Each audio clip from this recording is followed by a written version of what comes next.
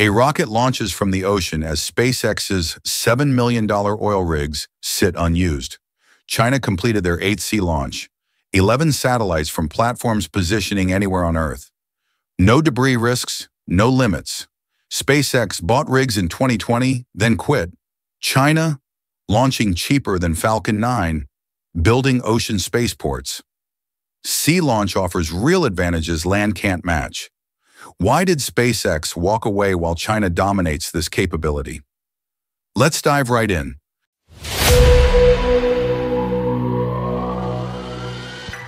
To understand why this matters, we need to rewind to where China's space program actually started and why they had no choice but to do things differently. For over 50 years, China launched every rocket from deep inland. Jiuquan, Taiyuan, Xichang, three massive sites hidden in remote mountains, built during the Cold War's Third Front campaign of the 1960s and 70s. The logic was simple.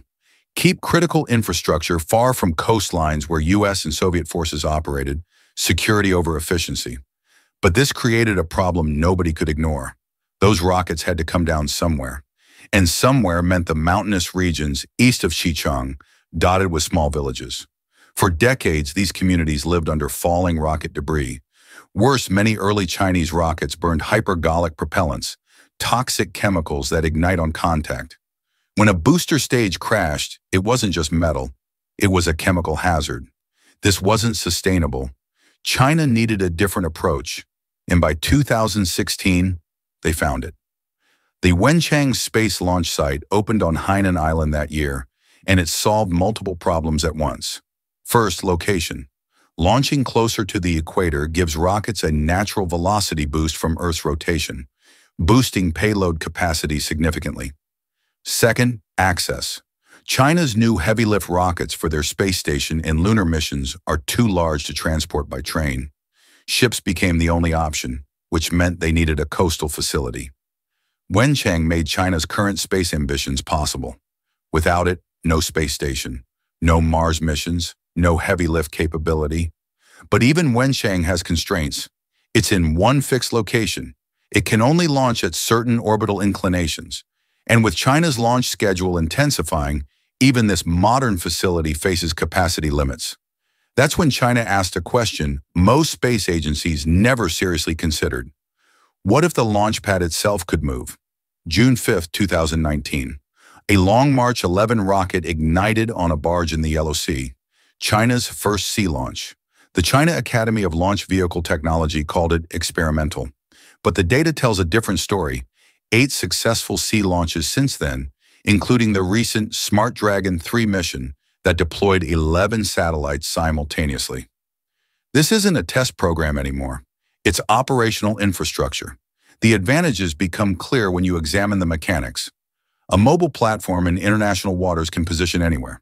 Need an equatorial orbit for maximum Earth rotation boost? Sail to the equator. Payload capacity increases by up to 15% compared to higher latitude sites. Need a polar orbit? Reposition accordingly. Every orbital inclination becomes accessible with the same platform.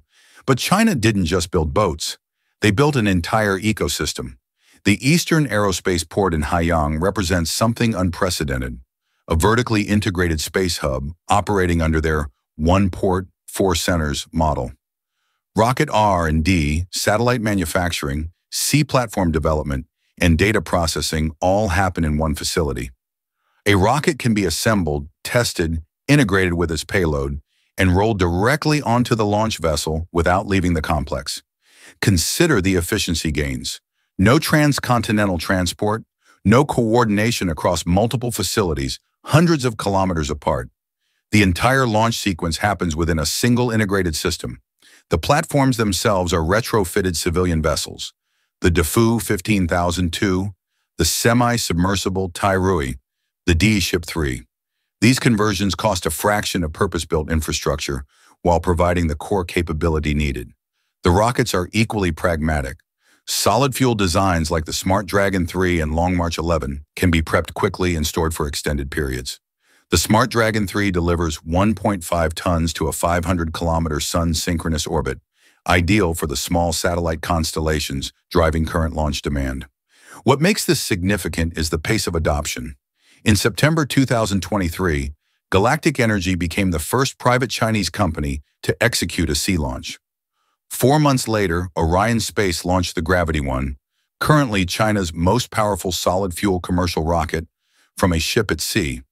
When both state programs and private startups embrace the same capability this rapidly, it signals something beyond experimentation. It's infrastructure being built in real time. This brings us to the question everyone's asking. Why isn't SpaceX doing this? In 2020, they bought two semi-submersible oil platforms, Phobos and Deimos, for $3.5 million each. These weren't derelict structures. They were engineered in 2005 for $515 million apiece, designed to survive Category 5 hurricanes with 73 by 78 meter main decks floating on submerged pontoons. Dynamic positioning systems using computer-controlled water jets could hold them stable in rough seas. Perfect for Starship operations, seemingly. SpaceX began modifications. Phobos was partially cleared by mid-2021. Work started on Deimos in March 2022.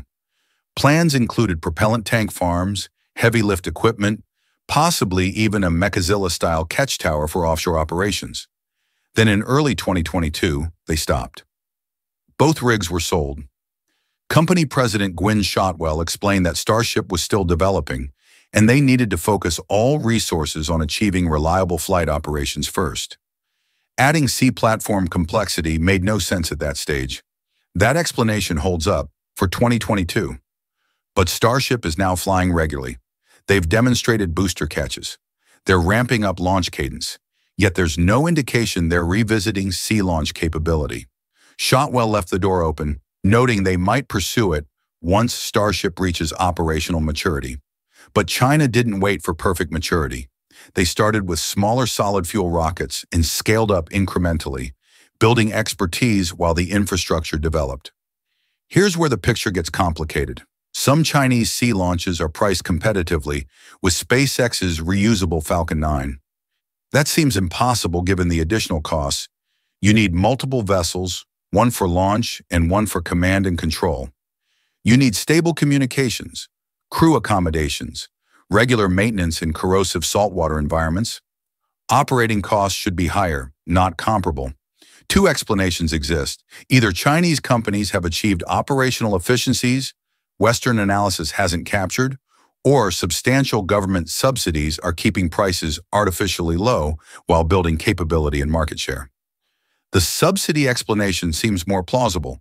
But even if current pricing isn't commercially sustainable without government support, the infrastructure being built is real. The platforms exist. The rockets work. The Eastern Aerospace Port operates at full capacity.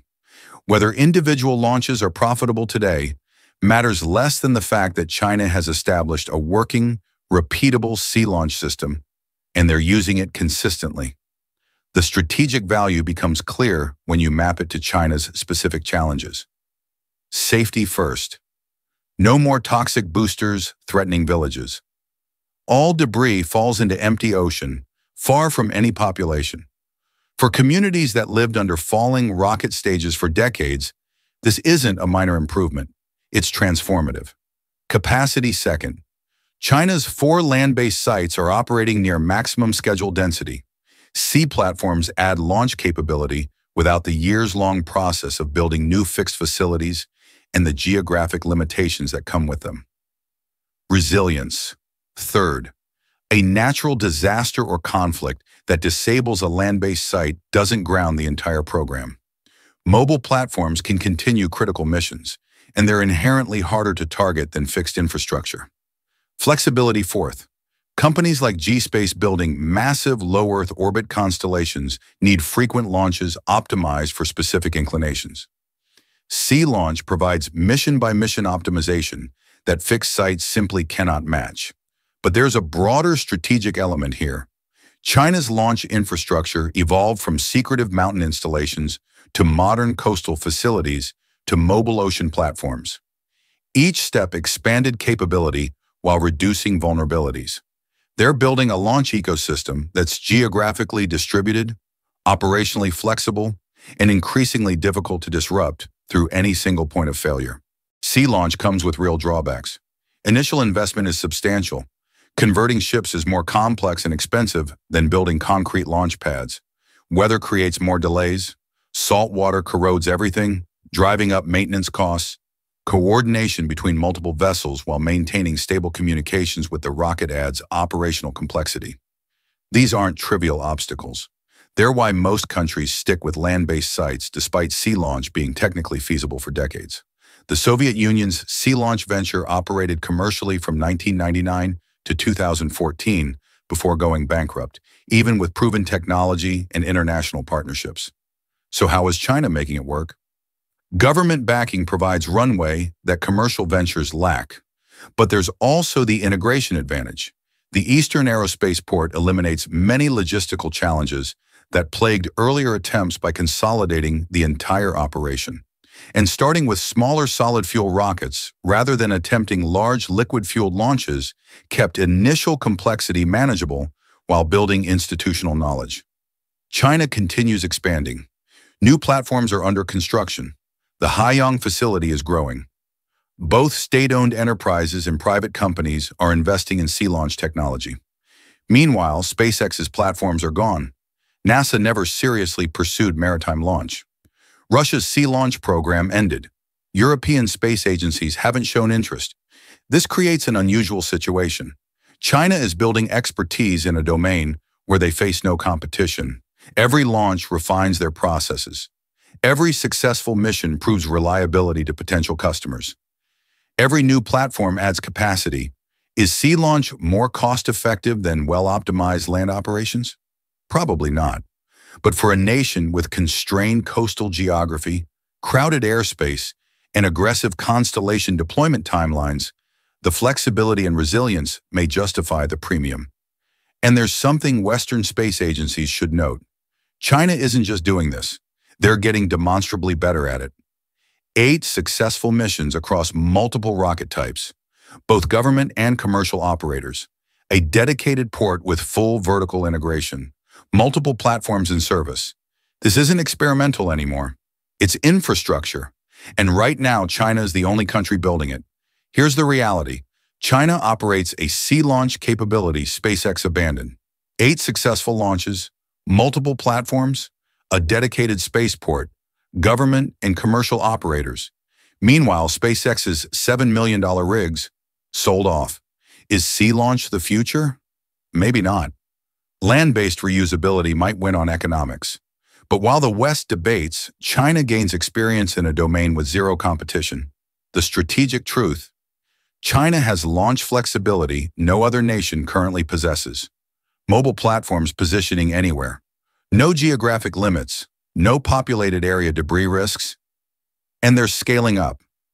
Your take, is this a game-changing capability the West underestimated? Or will full reusability make it obsolete? Drop your thoughts in the comments. If this gave you real insight, hit that like button, subscribe to Space Hub, and turn on notifications for our next breakdown. We cover the moves that matter, not just headlines. Thanks for watching. See you next time.